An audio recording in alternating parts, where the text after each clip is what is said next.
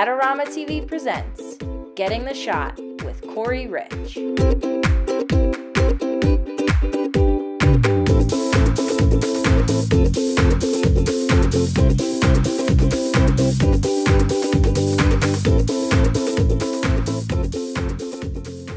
Hi, I'm Corey Rich, and you're watching Adorama TV.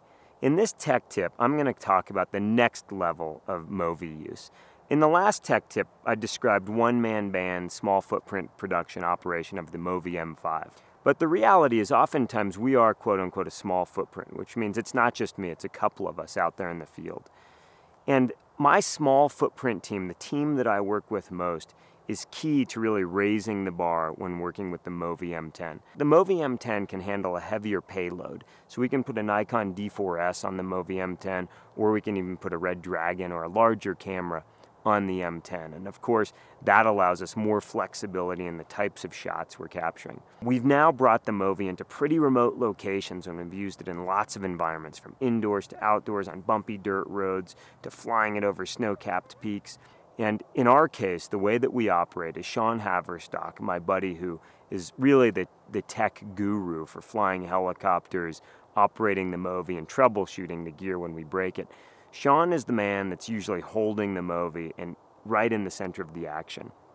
And then myself and Dane Henry are typically behind two other SmallHD monitors, and we each have a role. Dane has become the master of actually framing the shot using a set of controllers, and I've become the guy that while I'm directing, I can also be pulling focus with a remote follow focus rig. Sean is a fantastic helicopter pilot, and so we now have one Movi M10 mounted to the bottom of the Freefly heavy lifter.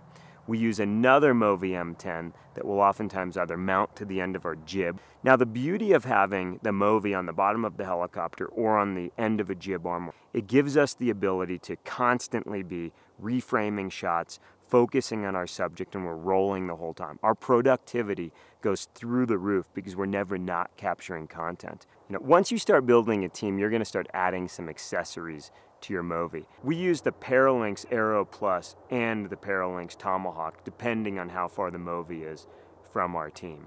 We're also using SmallHD monitors so that everyone, whether follow focusing, framing, or actually operating the Movi, can see the shot.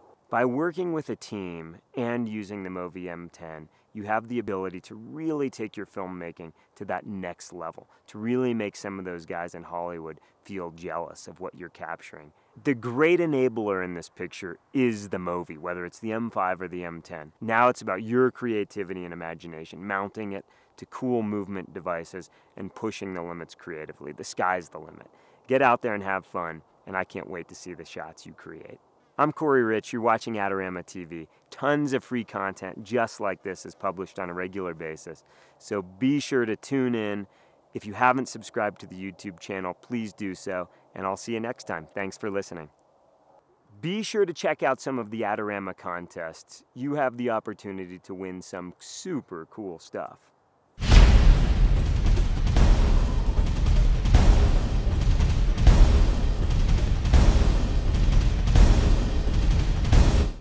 Great looking prints at low cost? Be sure to visit our easy to use online printing service. Adorama Pix has professionals who treat your images with the utmost care that you can count on. For a quick turnaround on photos, cards, or albums, use AdoramaPix.com.